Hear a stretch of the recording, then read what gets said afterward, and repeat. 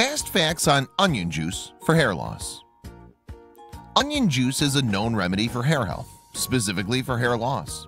It's been used for decades as a home treatment. 1. Onions contain several minerals, which can be good for the hair.